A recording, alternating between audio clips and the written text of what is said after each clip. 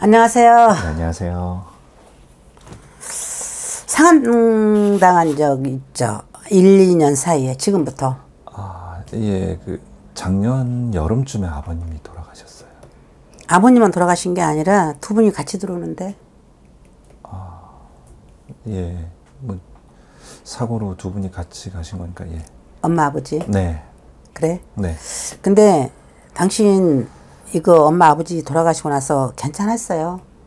근데 뭐 크게 문제는 없었는데 음. 최근 한 두어 달 전부터 아버님이 꿈에 이렇게 음. 종종 나오시더라고요. 저 그 말 물어보려고 물어보는 거예요. 꿈에 네. 아버님뿐만 아니라 네, 어머님하고 같이 되게 화낸 모습으로 좀 나오지 않던가요? 예, 안 그래도 그것 때문에 제가 오늘 찾아뵌 거예요. 그렇죠. 네, 근데 한번 물어봐. 이건 내가 틀리면 나도 쪽팔리는데 뭐 나도 틀릴 수 있으니까 사람이더라. 예, 당신 사주에 내 부모를 태어나자마자 내 부모라 부모하고 이별을 하라는 수인데 어떻게 이분들이 부모가 될 수 있지? 나는 의문스럽네. 뭐 사실은 제가 음. 저도 부모님을 일찍 여여서 어렸을 때 여여가지고 음. 힘들게 살고 있다가 지금 아버님께서 저를 양자로 들이셨거든요. 그렇죠. 네. 이 부모가 친부모가 아니죠. 네, 그렇죠. 음? 친부모가 아니라 그 그냥 이제 호적에다 내 아들로 삼아준 거죠. 양자로 네, 네. 들어간 거죠. 네. 그렇죠. 근데 아 이거를 어떻게 말해야 될까? 이 양 부모님께서 정말 고생 많이 하셔서 일고는 재산이 좀 많네요. 네. 일고는 땅이 좀 많다는 소리를 말하는 거예요. 네, 있긴 있어요. 그렇죠? 네, 이 땅을 처분한다면 아마도 한 이 정도 억은 될 거라고 보여요. 정확하게 모르겠고요. 음. 요즘에 많이 달라지더라고요. 그렇죠? 네, 땅이 옛날에는 시골 땅이었는지 모르려나 어느 순간에 금싸라기 땅이 돼버려서 네, 그리고 그래서 지금 꿈자리가 이상해서 나를 찾아온 거 맞죠? 뭐 꿈자리가 이상하다기보다는 음. 그동안 안 나오시다가 최근에 한 3, 4개월 전부터 해가지고 한 번씩 나오시는데 음. 아무 말씀 안 하시고 그냥 이렇게 우두커니 쳐다보고 음. 표정이 되게 안 좋으시더라고요. 그래가지고 제가 잘못 보내드린 건가 그 생각. 보내드렸어요. 예, 장례 다 치르고 정식적으로 다 해- 하긴 했어요. 음, 장례만 치러드리고 뭐 지, 진호기 같은 건 안 하셨고 어, 그런 건 제가 몰라서. 어, 진호기 안 하기 천만 다행이네. 진호기 했었으면 당신이 맞아 죽을 뻔했네. 어, 왜요? 몰라서 물어보는 거예요? 아니면 나 테스트 하는 거예요? 모르니까 여쭤보는. 모르니까? 네. 진짜로? 그러면 내가 당신 양 부모님 말씀을 그대로 전해드릴게요. 네.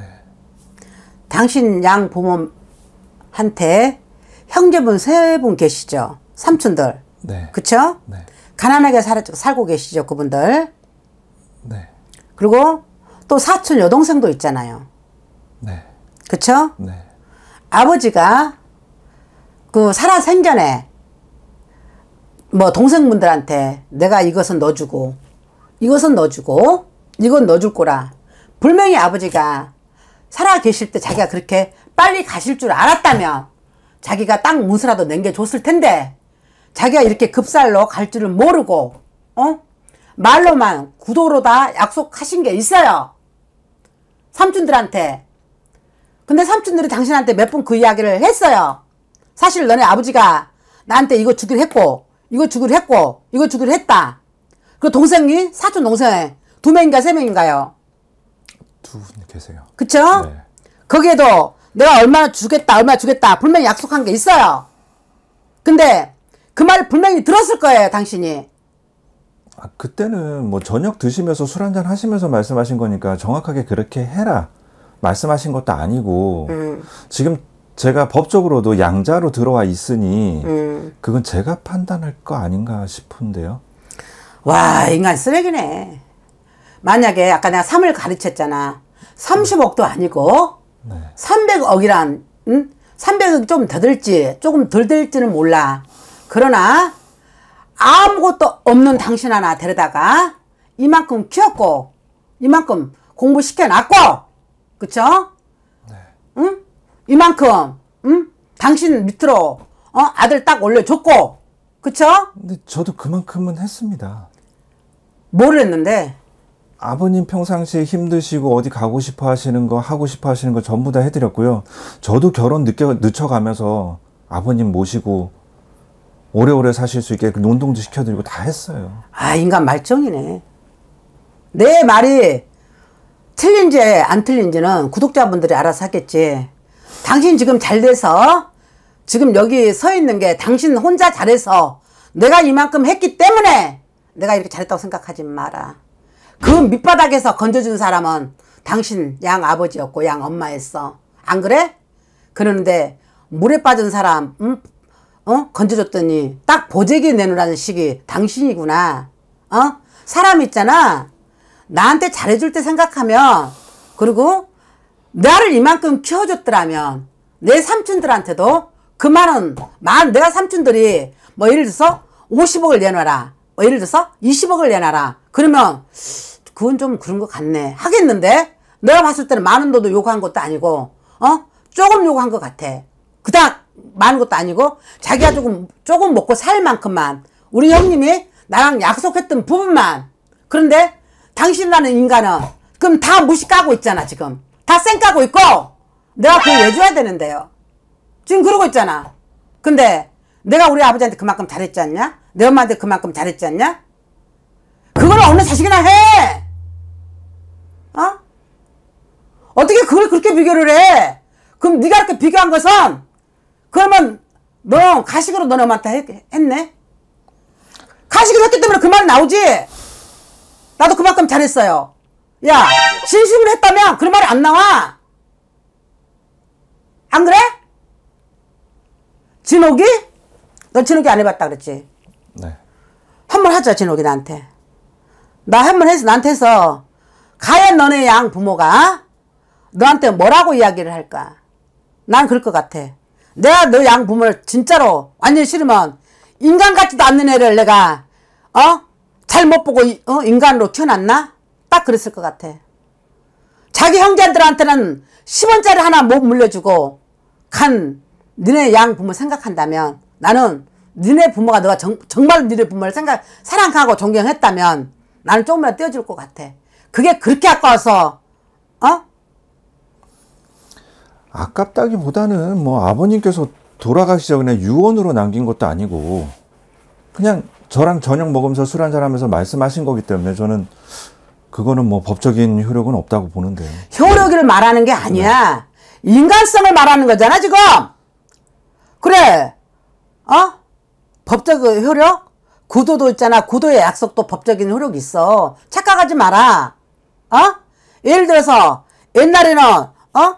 뭐 딱딱딱 도장 빵 찍은 거 그만 법적 효력 있는 걸로 어, 착각을 하는데 요즘은 구도로 약속한 것도 법적인 효력이 있어. 근데 당신 돈 가졌다고 해서 지금 음? 무시하고 다니면서 내 삼촌들 내 큰아버지들 무시하고 다니면서 지금 까쭉거리는 게 그게 말이 되니? 그래서 꿈에서 너네 양 부모가 나와서 너 째라보고 꼬라보고 너 그렇게 하는 거야. 어? 그 돈 주기가 그렇게 아까워? 나 같으면 주겠어. 나 같으면 주겠다고. 그리고 건방진 생각 갖고 있지 마. 어? 그 사람들은 고생해서 일군 딱, 저, 재산이고, 어?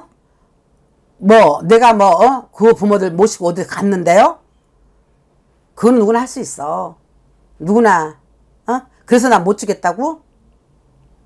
나는 인간이라면 그 정도는 나는 주고 내 아버지 내 엄마를 봐서라도 그 내 가족들하고 인연 안 끊고 살 안 끊고 살 것 같아.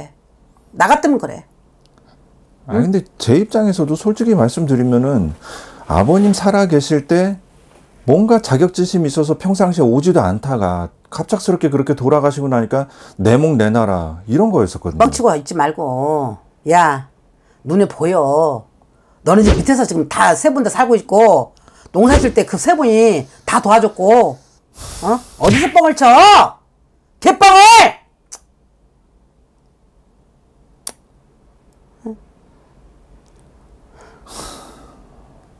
내가 돈을 주라 말으라 말은 못해. 그러나 네 꿈에 너네 아버지를 봤을 때 내가 망자의 잠시 잠깐 말을 전해준다면 너 그 돈 먹고 연치기 전에 나눠줘라.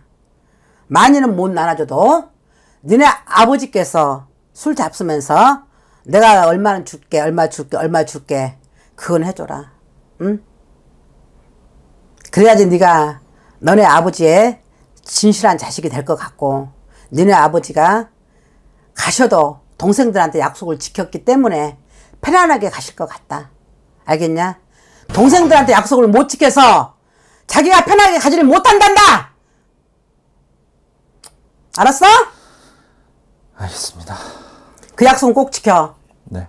그리고 인간 그 쓰레기 같은 생각 가, 갖고 있지 말고. 어? 알겠어? 네. 가요.